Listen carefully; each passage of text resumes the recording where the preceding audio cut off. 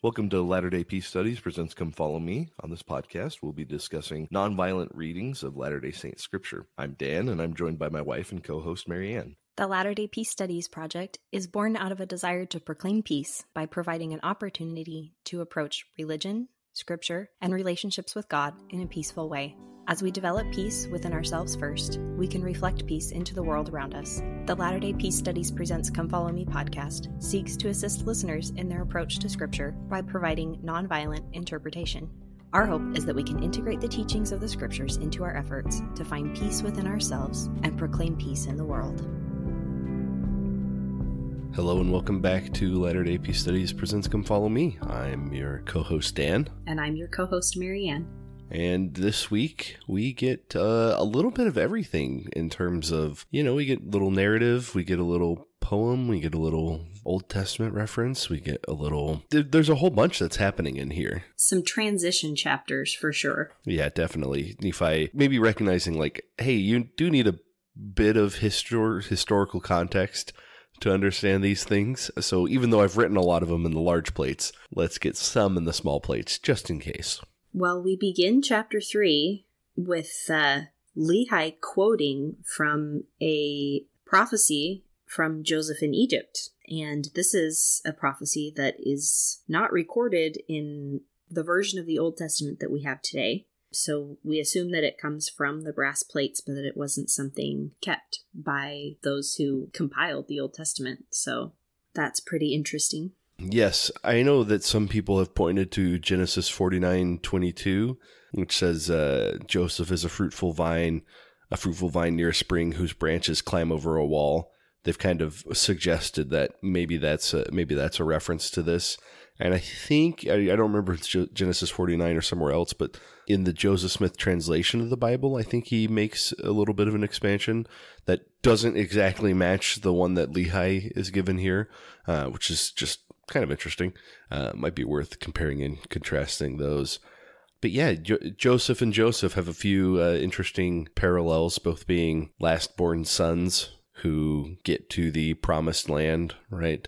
Well, one tiny note Joseph of Egypt was not technically the last-born. That's true. His younger brother Benjamin was the last born. But. He was the last born before he got to the, the land promised to him. Right. So Benjamin was born once he right. was there. So, yeah, so you're you're correct though that uh, not not quite the, the exact last born. Which is interesting also because I've heard some some people suggest that Jacob and Joseph, as in Lehi's sons, were twins and that they use the the naming pattern because Joseph is older than Jacob. Is that right? Jacob's older than Joseph. So Jacob's older than Joseph, but that's right. Because if you look at this, it's pretty clear that Joseph was a very important name, one that Lehi, after getting the brass plates, probably would have wanted to use. And so he would he have waited to use it in the case of him maybe getting another kid or if he knew he had twins, then he would feel comfortable naming one Jacob and the other Joseph. A little, a, little bit of, uh, uh, I think, uh, a few steps in logic that you need to make there, but interesting at least. I mean, it brings a lot of modern assumptions to it, really. Correct. Yeah, you know, in terms of what you like for names and and that sort yeah. of thing. Well, but Joseph Smith was named after his father, but he was not the firstborn son. He was the third born son. So why did his father wait till a third child to name one after him? Well, because Alvin was going to die, right? And, and before Hyrum. I, I, I, no no I was just trying to think why it would yeah. why it couldn't have been Hyrum but I don't uh, know yeah yep timing wise I guess Hyrum didn't work so he just knew that Joseph was uh, was the one I don't know but uh, I mean, getting into this blessing, the phrase in verse 3, uh, he says, And now Joseph, my lastborn, who I brought out of the wilderness of mine afflictions, may the Lord bless thee forever, for thy seed shall not utterly be destroyed. That is not the most rosy blessing. it's like, well, some some will survive, but that's still a blessing, right? Especially compared to what we know from from Nephi, where his whole his whole offspring would, would dwindle in unbelief. So yeah, this that brings in that that's how we lead into this discussion of of Joseph in Egypt where we get the information about the prophecy and You know, the prophecy, it, it's interesting how this goes. And I think I say it's interesting too much, but it, tr- it truly is. Verse 6 For Joseph truly testified, saying, A seer shall the Lord my God raise up, who shall be a choice seer unto the fruit of my loins. And then we see that choice seer mentioned, and seer is, is continually mentioned uh, in terms of all these things. He'll be great like Moses. Oh, by the way, Moses is a, a guy who I'm going to raise up to deliver people out of the land of Egypt, which I think is an interesting little way to bring in prophecy where you name something that's going to happen and then you realize that actually without context, that's not going to make a lot of sense. Yeah. Because if Joseph just gets up and says, "I'm there's there will be a choice seer for my loins who will be like Moses," it's like, well, okay, who's Moses? a little anachronistic there, I can see. But I mean, is there any, you know, the okay, the the fruit of thy loins shall write, and the fruit of the loins of Judah shall write, and they will be brought. You know, those writings will be brought. They shall grow together under the confounding of false doctrines and laying down of contentions and establishing peace among the fruit of thy loins. And this last part, you know, ties back into the purpose of the Book of Mormon as stated in the title page bringing them to the knowledge of their fathers and also to the knowledge of the covenants. I think that's a great list too of just promises from reading the Book of Mormon. That that's what the Book of Mormon is for is to confound false doctrines and lay down contentions and establish peace of a special interest to us among the fruit of thy loins and bring them to the knowledge of their fathers in the latter days and also to the knowledge of my covenants, saith the Lord. So that's a great list of those things that we can expect to find in the Book of Mormon and that the Book of Mormon seeks to establish. There's, yeah, I, I think I think you're right. Other things that come out of this, that seer will the Lord bless, and they that seek to destroy him will be confounded. For this promise which I have obtained of the Lord of the fruit of my loins shall be fulfilled. Behold, I am sure of the fulfilling of this promise. This is one of those things that comes up again and again in the Book of Mormon we'll see this like with Enos, where it's like, well, like I've got this promise from the Lord, and so I have this confidence, right? Lehi mentions, you know, once he gets the the promise from the Lord that he has confidence, and that that'll come up again and again. Just this idea of, well, we we have the covenant, right, and that is what brings us surety and peace, which I think is not always something that it's sometimes hard to feel, right? It's like, well, I know I have the covenant, right? But what, what's the difference between having the covenant and feeling the confidence from that covenant? I don't know. It's, it's good to look back and, and think a little bit more on that, you know, about how our covenants actually impact our attitudes and behavior. Well, the hope, I think, is that the covenant, the covenant isn't any good if we don't have faith in the Lord. And by faith, I mean trust. If you don't trust the Lord, making a covenant with him doesn't do anything for you, either in the accomplishing of the covenant or even just in the making of it. Whereas if you trust the person that you make a covenant with, that covenant gives you confidence. I mean, think of that in terms of a marriage covenant, that you have to trust that person you're making that promise with. And if you do, just the making of the covenant gives you peace. It's true. Even as it takes time to fulfill. Yes. I I think maybe it's a little easier to get lost sort of in the modern context, but I think at least anciently, you know, so much depended on your word, right? Mm-hmm. Yeah, that too. And then we get to the transition where we we get interesting little preview into the future because uh, this part appears to be referencing Joseph Smith because it turns out, oh, this seer, well, his name shall be called after me, me being Joseph in Egypt, uh, and it shall be after the name of his father. Obviously, we just mentioned how Joseph Smith Sr., named Joseph Smith Jr., uh, and he took a couple couple kids before he got there, but uh, still named him after himself. And he shall be like unto me, for the thing which the Lord shall bring forth by his hand, by the power of the Lord, shall bring my people unto salvation.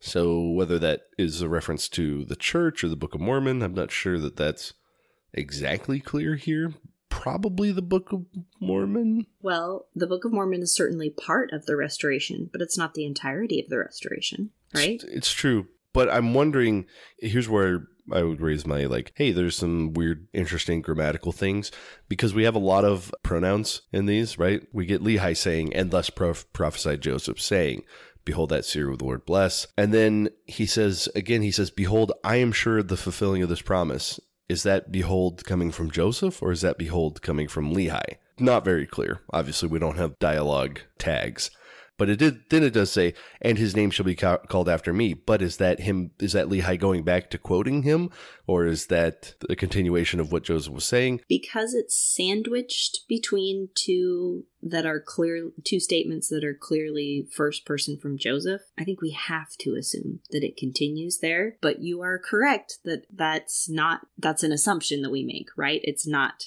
explicit. Because you would assume the same thing with verse 12 and 13, except then we get in 14 and thus prophesied Joseph, suggesting that some of this is coming from Lehi. Well, we have to be mindful of all of these levels of, I mean, we're at like fourth person by now, right? So we're getting it from Nephi, quoting Lehi, quoting Joseph of Egypt. And so we're like the fourth step removed, at least by that. Well, and Lehi's quoting the brass plates, quoting Yes. Joseph of Egypt. So we have several layers there to consider. There's definitely more than one. so the, the interesting ambiguity at least suggests that you know whether the thing the Lord shall bring forth, if that's referencing back to verse 12 where it talks about the fruit of the loin shall write, you know those ones, or if it's a reference to the whole of the restoration. This is, I think that there's there's room for both interpretations. Maybe lean more towards the restoration. Well, we have another example of that in verse 16, because he starts, Yea, thus prophesied Joseph, I am sure of this thing, even as I am sure of the promise of Moses. So that that seems to be another direct quote from Joseph of Egypt. So his I am sure of the fulfilling of this promise in 14. I mean, he just said it again, so Yes. and this one more explicitly. So Now there is a interesting tradition I've only briefly done some research on, and uh, there's there's been a handful of LDS scholars who have delved a little more deeply into it. The idea of the Messiah ben Joseph, which we're familiar with the Messiah ben David. That's what what Christians accept as Jesus Christ, right? He's of the house of David. He he came to redeem us. But there is some evidence that there are traditions of a second Messiah, right? The the Messiah ben Joseph. This is Matthew Brown. He says, according to Jewish lore, the Messiah ben Joseph concept first arose when Rachel, the mother of Joseph of Egypt, prophesied that Joseph would be the ancestor of Messiah who would arise at the end of days. And you know, it's got some interest for for Latter Day Saints. Jewish legends claim that Joseph of Egypt uttered prophecies about the Messiah ben Joseph that might, you know, for us kind of back up some of these prophecies that are in the Book of Mormon.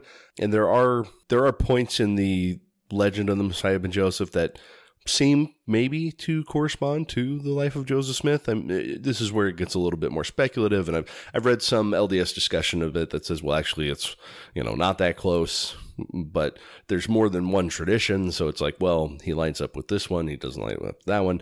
The point is, there's room for interpretation, but it's interesting at least to say that there's this ancient tradition that just so happens to be mentioned in the early parts of the Book of Mormon. You know what else I find interesting about that? Is that all of the prophecies about the Messiah Ben David are from men, and this prophecy comes from Rachel, a woman.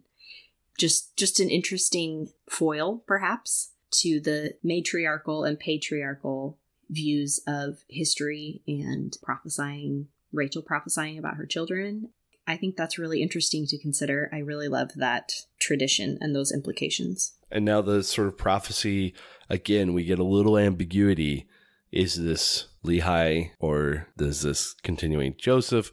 Little bit hard to say. I lean towards this being more towards Lehi, maybe still quoting Joseph at points or quoting the brass plates and other points. Uh, with verse 17, you know, where he says, I will raise up a Moses and I will give him power into a rod and give him judgment in writing. So this seems to be also referencing this other Joseph, maybe. It's kind of hard to tell. Uh, Yet I will not loose his tongue that he shall speak much, for I will not make him mighty in speaking. That's where you're like, well, if all this was referring to Joseph Smith, I mean, Joseph Smith seemed to have some oratorical powers, or oratory power. How, how would you say that? Powers of oration. Powers of oration. But uh, we get in verse 18 a very interesting verse. And the Lord said to me also, I raise up the fruit of thy loins, and I will make for him a spokesman. And behold, I will give him that he shall write the writing of the fruit of thy loins under the fruit of thy loins, and the spokesman of thy, thy loins shall declare it. Very weird verse here, grammatically, I think.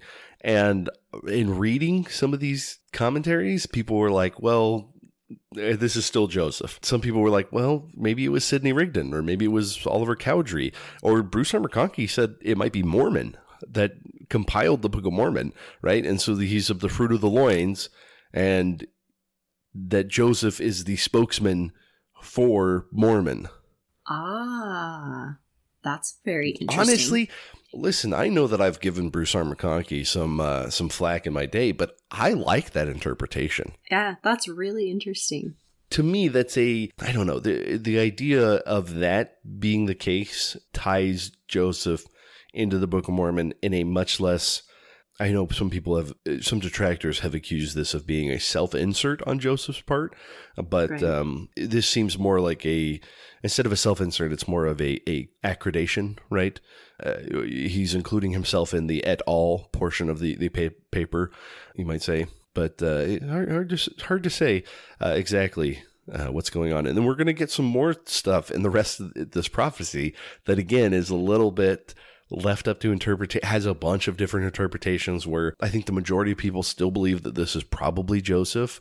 We get some prophecies about the Book of the Mormon. You know, the fruit of thy loins had cried unto them from the dust, right? Uh, they shall cry unto the dust, even even repentance unto the brethren. One comment on uh, verse 20, it seems like there's maybe a, a word deleted there. So I added it in on uh, the Royal Skousen's analysis where, and it shall come to pass that their cry shall go, even according to the simpleness of their words. Seems like it should say go forth, right? Go, go even according to the simpleness of the words does not seem like the phrase that would fit here based off other things in the Book of Mormon, which again, I just really am appreciating Royal Skousen's insights because that is such a small thing. But for me, when I put in go forth, right, it, it just, it, the flow felt much more like the scriptures feel. And it seemed to, seemed to capture something that wasn't there before.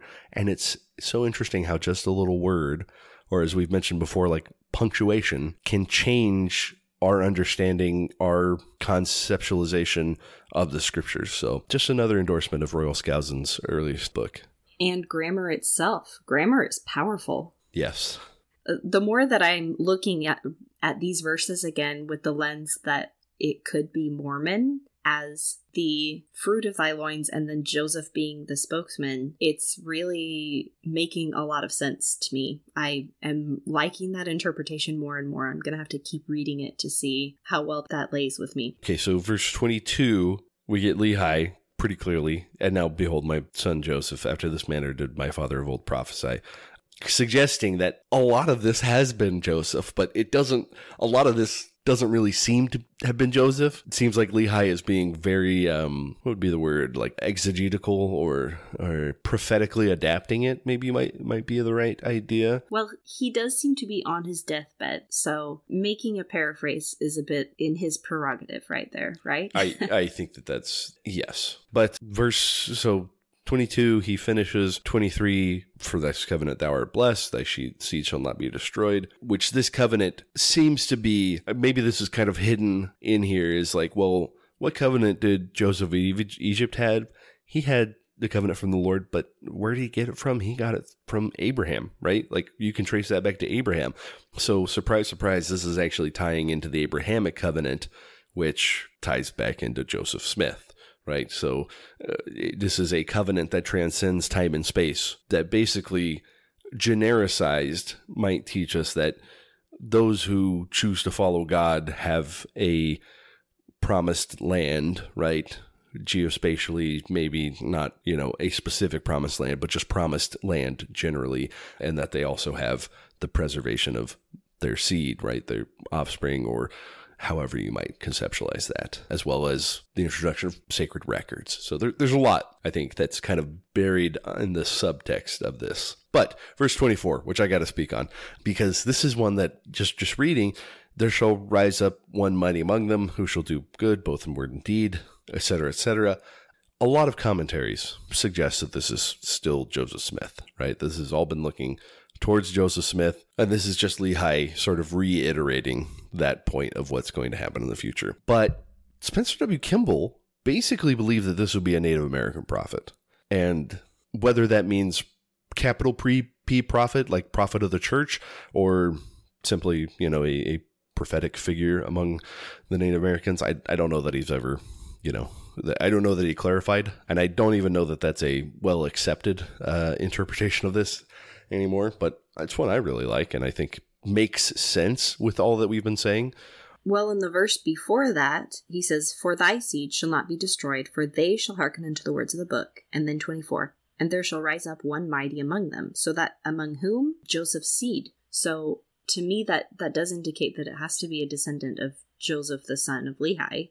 Yes, however, the the counterpoint in reading is that well, yes, Joseph ben Lehi, right, is is of Joseph's seed, and Joseph ben Joseph, Joseph Smith, is also of Joseph's seed, right, based off his patriarchal blessing. So, mm-hmm. and I think that's that's the counterpoint. It's like, well, you know, among your seed, well, you're you're tied back into all of this, so maybe not directly through you, but I don't know. I have my own personal preference uh, for for what it would be, but I, I, I, would not impose that upon others. Well, I love that um, Lehi, before his death, he reiterates again in verse four: "The for the Lord God hath said that inasmuch as ye shall keep my commandments, ye shall prosper in the land, and inasmuch as ye will not keep my commandments, ye shall be cut off from my presence." And I believe that promise is reiterated over thirty times in the course of the Book of Mormon. And it's so central to the message of the Book of Mormon that every time I come across it, I, tr- I try to take a moment to think about what that actually means. And I have to be honest, I'm not sure about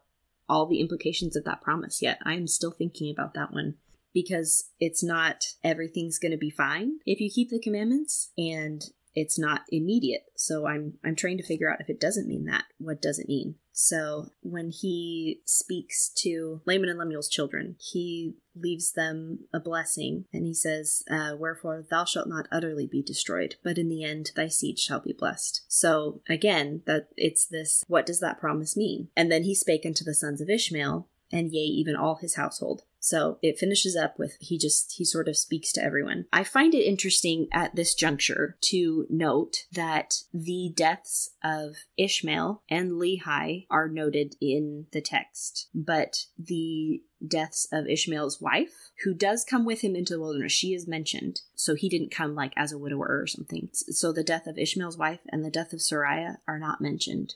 We don't know when those occurred at what point. And that seems to be another important thing that's missing in this text. That's something that we don't have that again makes it feel a bit unbalanced to me. That's a, a very good point in terms of what we're missing. One thing in verse 3 that's interesting is it says, He called the children of Laman his sons and his daughters depending on how you interpret that, you know, that might be a, a way of reiterating that phrase. He called the children of Laman, who are his children, his sons and his daughters. Or it might be saying that Lehi called them his sons and daughters and that he's doing, and, you know, he says, Behold my sons and daughters. So I think that that is the right way to interpret it. It's Grant Hardy pointed out that Lehi might be here sort of adopting Laman's children as, as his own children to replace the rebellious father right? That this is in his final moments. That's one of the blessings that he's going to extend to them is to have the removal of that connection, right? Leapfrogging yeah. the generation.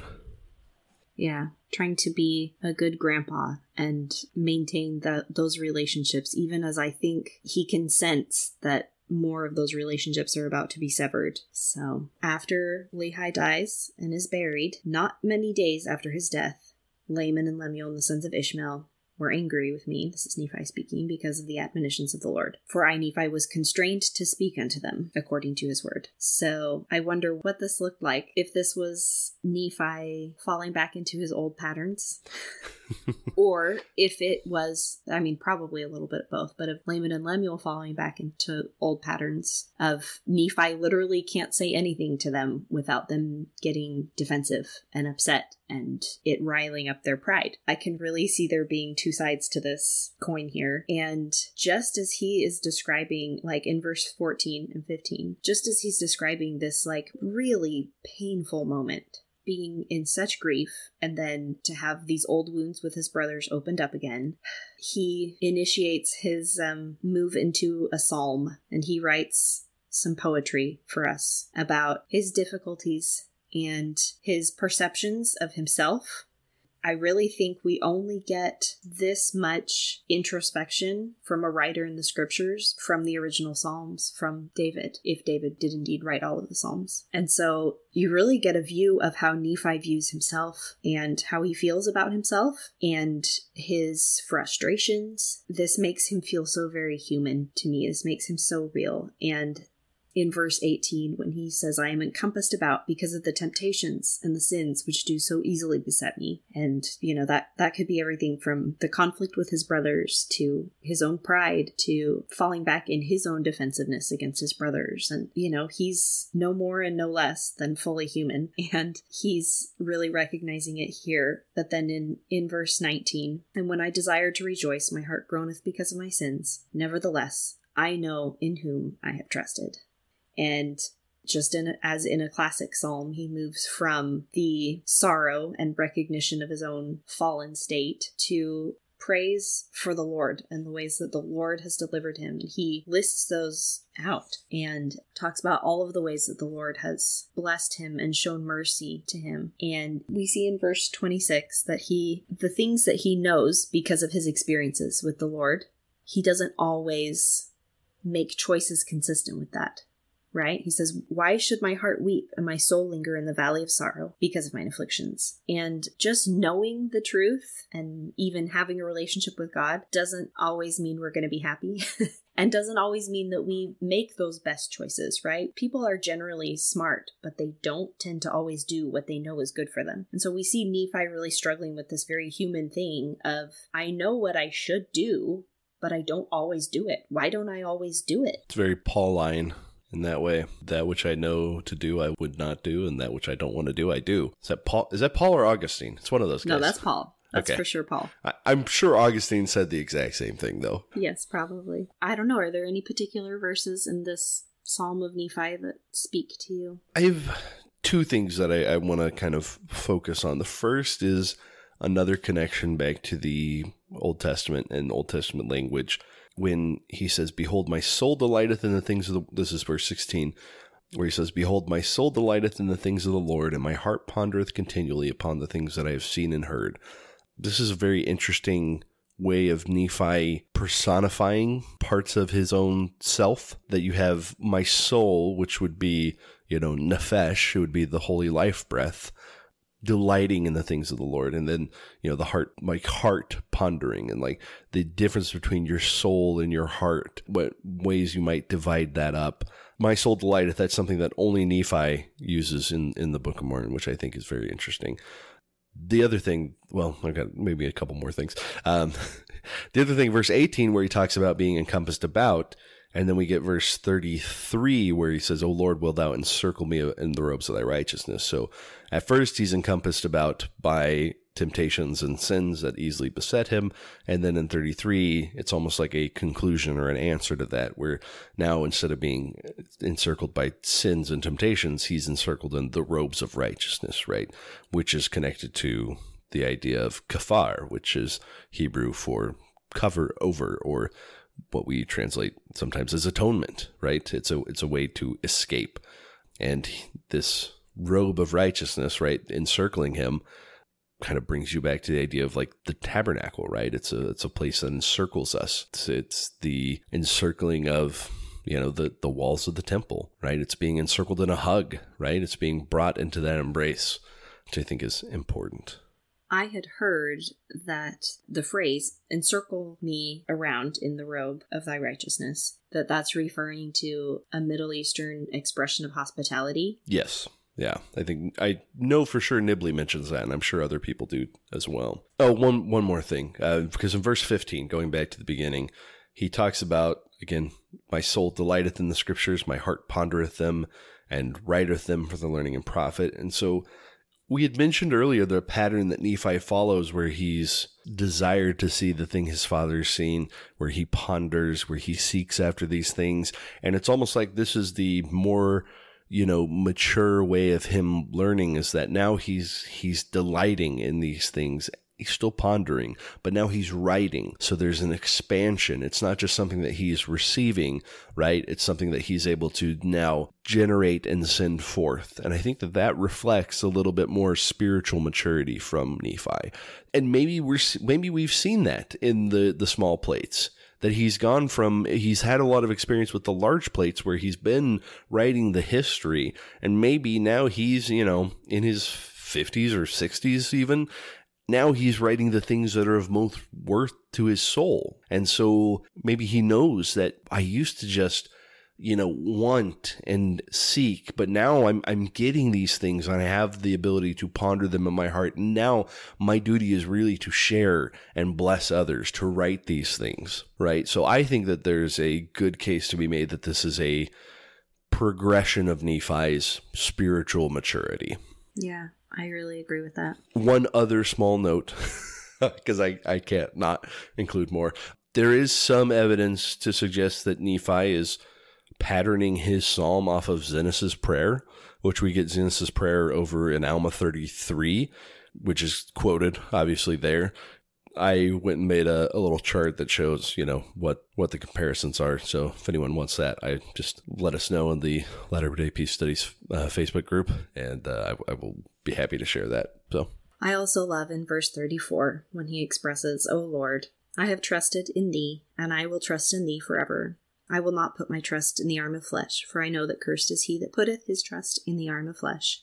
Yea, cursed is he that putteth his trust in man, or maketh flesh his arm reading this verse really reminded me of the talk from Spencer W. Kimball about the the false gods we worship and about trusting in the arm of flesh. The contrast that we have there with Nephi expressing his trust in the Lord and just in the Lord. And he knows there's there's not really anything else we can trust in the world. And that's why anyone who trusts in anyone or anything other than God is cursed is because none of those things or people or ideas can save. None of them have really any lasting power. Beautiful. Does that bring us to chapter 5? It does indeed. First thing that I want to notice is that chapter 5, after verse 1, verse 2 through 4 are a little chiasmus. I just saw that and I was like, this is such a weird thing to make a chiasmus because normally with the chiasmic structure, you're trying to create a central thesis, right? That things build up to, and that central thesis is the focus. But in this case, if you read verses two through four, We've got seek to take away my life, murmur against me, younger brother thinks to rule over us. We've had much trial before him. And the sinner is now let us slay him. And then it's afflicted because of his words. We will not have him to be our ruler, murmured against me, seek take away my life. Which is, I, I don't know. It's uh, perhaps Nephi has just gotten so into the chiastic structure that he can't help himself. But that's an interesting way. And maybe what it is and again, maybe this is I'm putting on my speculation hat is maybe he's trying to emphasize because what what happens next, right? They leave, and they leave after Lehi dies and after there's this great falling out, and so maybe Nephi is taking the time to point to this as like, why am I leaving with my family? Well, because they're going to kill me, right?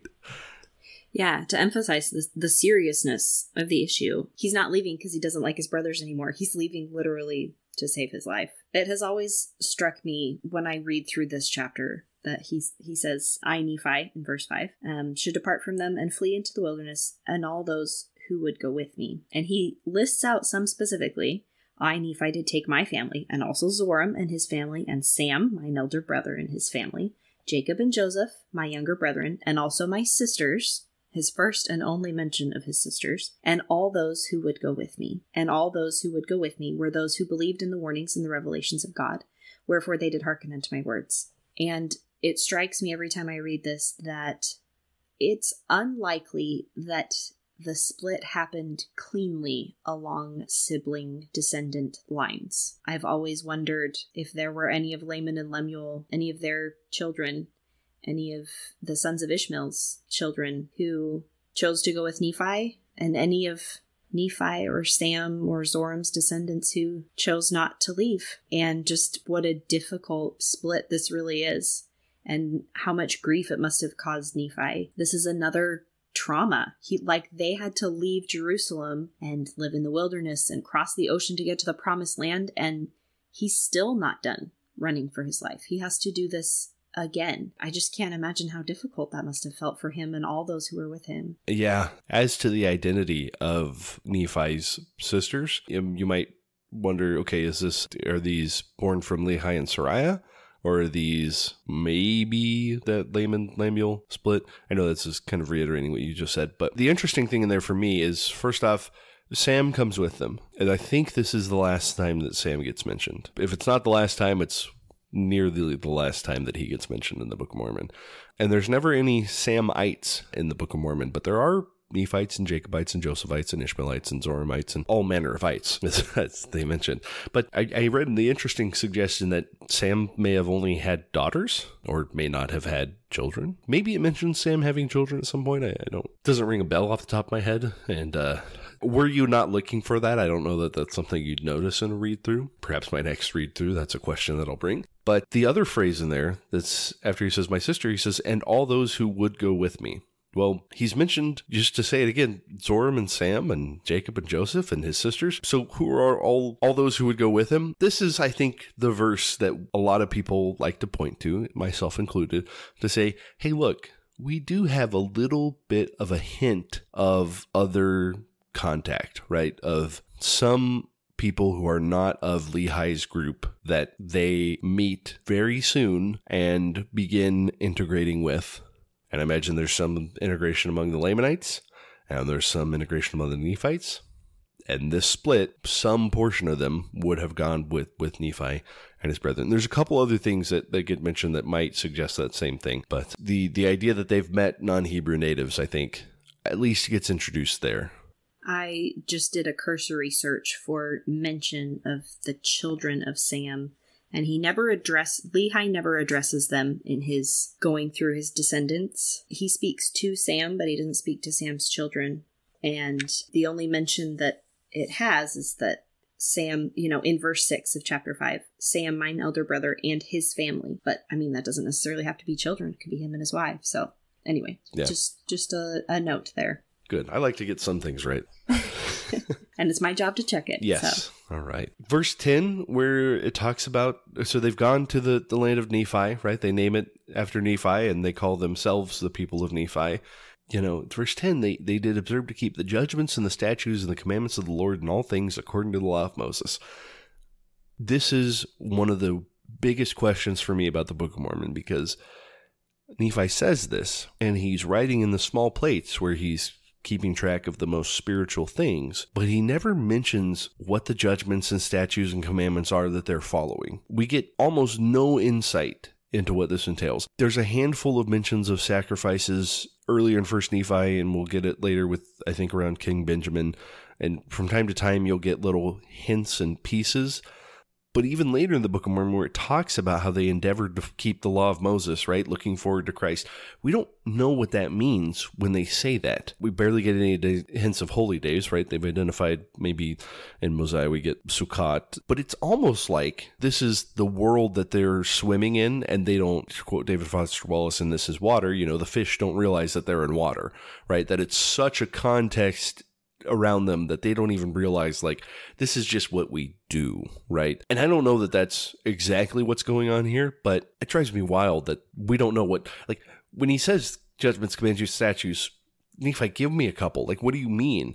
Because we look back to what we have in the Old Testament, and that comes from the Josiah reforms, right? Which Nephi and his family left at or around those times and I think we've got a good case to make that some of their leaving is a response to those things. So it's probably not that they're keeping all of the statutes and judgments and commandments that Josiah brought up with the new Deuteronomy, right? Maybe there's um, there's going to be a lot of overlap, I imagine, because I don't think Josiah I don't think Josiah invented it out of whole cloth. That that I think is a ridiculous idea that no one believes.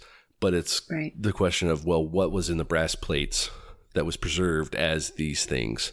Yeah, that is really interesting about how he doesn't bother to mention their specific religious practices because it, it would be like talking about how to drive a car nowadays. It's like, well, everybody knows that, I guess. It would be a statement you would make for comic effect in a book where it's like, I took a car to, you know, I took a car to the grocery store. By the way, a car is this four wheeled automobile with an engine that makes it go. And a grocery yeah. store is a place where you can go buy food stuff. It's just, you wouldn't need to explain that. So, yeah and he wouldn't really have the con like we have the context now of or the idea of imagining like explain it to me like i'm an alien but that wouldn't that wouldn't have been possible for nephi to imagine any type of cultural context really outside of his own because his exposure to it would have been so limited as to make that nearly impossible i also think it's really interesting in this chapter that he mentions taking the sword of Laban, and after the manner of it did make many swords. Then in verse 15, he says, I did teach my people to build buildings and to work in all manner of wood, and of iron, and of copper, and of brass, and of steel, and of gold, and of silver, and of precious ores, which were in great abundance.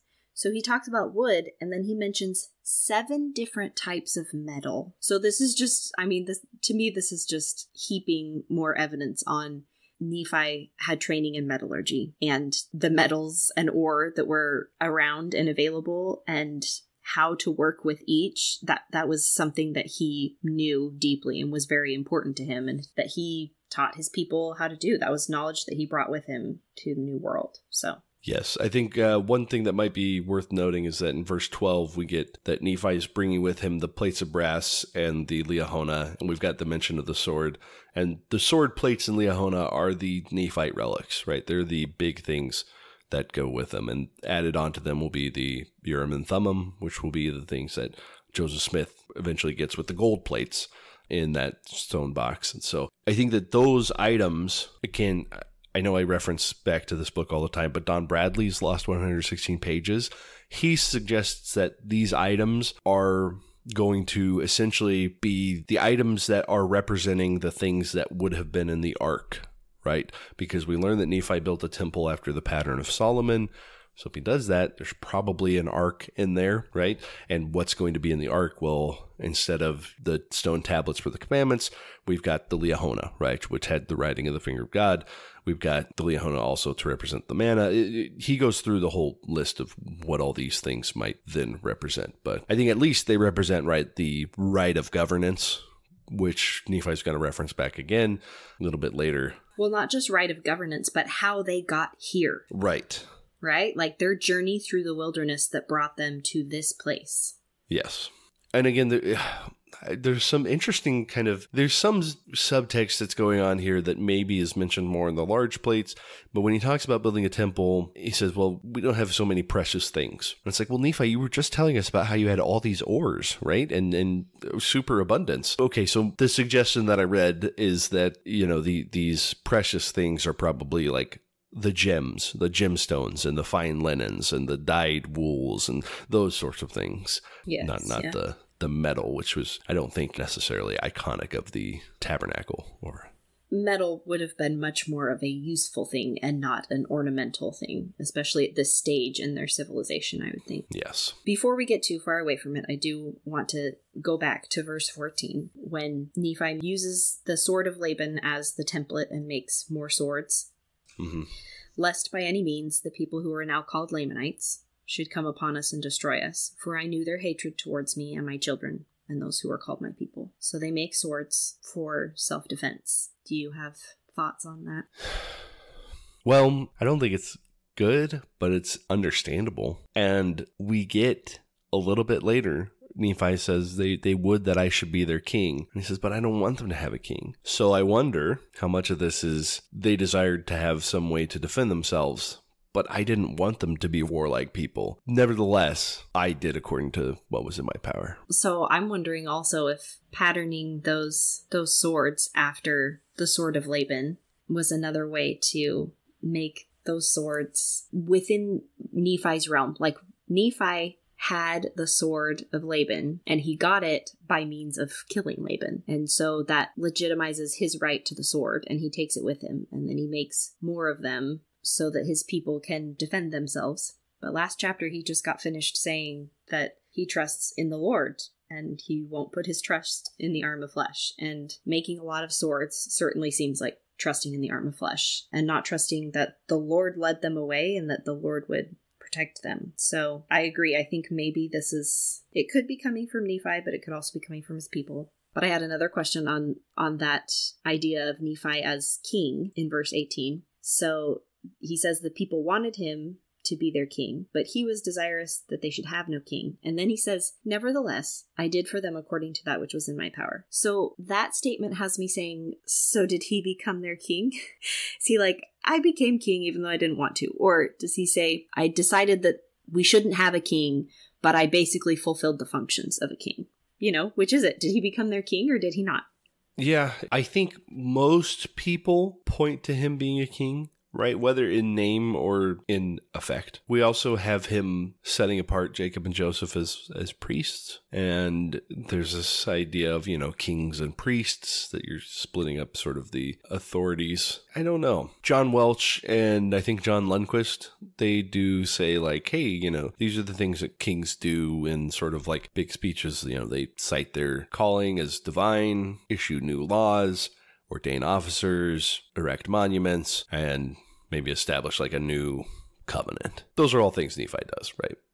you know, building the temple, the king building the temple, I think is is that definitely ties him into other historical kings. Whether he would go by King Nephi, I think you got that might be something that he didn't want to do, but probably let his people call him King Nephi. Yeah. Hard hard to say, but good good good question. And yeah, it's interesting because I don't think we ever explicitly get the, the you know King Nephi or they crowned Nephi as king. But mm-hmm. whether or not you crown a king, it seems like this is where he wound up. So he specifies in, in verse 28 that 30 years had passed away from the time they left Jerusalem. And that's when the Lord tells him to make the small plates in verse 30. So he follows the commandments and and makes the new plates and you know is filling them with the things that God commands him to. And then he says in verse 32 And I engraved that which is pleasing unto God. And if my people are pleased with the things of God, they will be pleased with mine engravings, which are upon these plates. And if my people desire to know the more particular part of the history of my people, they must search my other plates. So this indicates to me that Nephi believed at this time that these writings were for his descendants, his people. Whereas later in the Book of Mormon, well, at least to the compiler, Mormon, he knows it's for us. He's compiling it for our day. But that wasn't necessarily important for Nephi to know at the time when he was making this record. So the Lord was just like, hey, make a record and fill it with the highlights, the very most important things, right? Which I think is also kind because it would be very overwhelming to, after keeping a journal for 30 years, be like, oh, hey, make another journal and like make sure you include all the stuff that was in your 30 years worth of journal. okay. Well, to be fair, he skips over a lot of time in there. Yes, he does. That part is nice. I mean, no wonder he only includes, you know, those things that are of most worth because he'd already made a record. But he believes these to be for his people, right? This is for his his people's profit and learning, much the way that like the brass plates had been, and like all of his experience with scripture, right? Is ancestors writing for their descendants for their benefit. And that is a purpose of the Book of Mormon, but it's not the only purpose of the Book of Mormon. But the whole purpose of the Book of Mormon doesn't seem to be revealed to all of the contributors to it. That seems to be some special knowledge that's given to Mormon and then Moroni as Mormon is compiling the plates because he he has to have a better idea of what this purpose is as he compiles all these records. And it wasn't necessarily important for each individual contributor to know that. And so I just thought that was an interesting Nephi thinks that it's for his people whereas later in the Book of Mormon Mormon's like, "Oh, this isn't for these people right now. This is for their much further descendants and then for the Gentiles." And I find that really interesting. So, some of the more challenging verses here in the Book of Mormon. Some problematic ones, at least the way that they have been read historically. I think we can in no way be exhaustive, but we can touch on them and sort of how we can take a peace promoting view of these verses. So, verse 20, we get, Inasmuch as much as they will not hearken to the words, they shall be cut off from the presence of the Lord, and behold, they were cut off from his presence. That cut off seems to be sort of the big turn here, where it's it's almost used for like dramatic effect. And of course, it comes right after Nephi mentions that they built a temple and now he's been sort of chosen as ruler. And so, part of, I think, the cutting off from the presence of the Lord is being cut off from the temple, right? And those blessings and the opportunity to get more revelation, right? As, as having spiritual leaders. And then we get the, the curse, right? This, this sore cursing that comes upon them. And then as a result of the curse, we have this side effect, right? Where, whereas they were white, they were exceedingly fair and delightsome, that they might not be enticing unto my people, the Lord God did cause a skin of blackness to come upon them. First off, another endorsement for Grant's Grant Hardy's annotated Book of Mormon. He does a great job on a note of this. Uh, I'm not going to read it all here, but he just covers very plainly hey, here's how it's been interpreted. Here's what we currently think. Obviously, he points out that this can't really be used as a justification for racism against African Americans because they were not African American or from Africa they were not part of this story at this time. Right. So that there's both modern injections of racism that you have to deal with and then also sort of understanding cultural ideas around dark skin literally or metaphorically that we have to see it from a lot of different ways and it's not simple right but i think nephi is using simple language that ties back into existing language about cursing and blessing being associated with darkness and whiteness and we'll see that throughout the Book of Mormon. We'll see people talk about their garments being dyed in the blood of the Lamb to be made white. We've seen the fruit of the tree of life being white. Blessing is always going to be associated with white in the Book of Mormon. It's very explicit and constant and consistent, whereas everything that's evil is dark and cursed and dreary. Well, except for the blood of the Lamb. Right, but that's the dark theme. Well, when you wash it in the blood, your garments become white. Mm. So that is a, a little bit of a paradox. There are lots of theories for why this is happening, but I think one of the things that helps me is to remember that Nephi is coming from a world in which God causes all things. Things are ordered by God and, and they happen. And I think he's had that in his life too, where it's like, well, I obeyed and God blessed me. It's a natural thing to assume. So when Nephi sees an event happen or notices something happening, he's going to attribute that all to God. That's the context that he comes in. So, whatever reality might be behind the skin darkening, however that might have happened, and whether that's literally having skin darkened through intermarriage or spending more time outside or through clothing themselves in animal cloaks instead of, you know, linens and raised flocks and, and those sorts of things.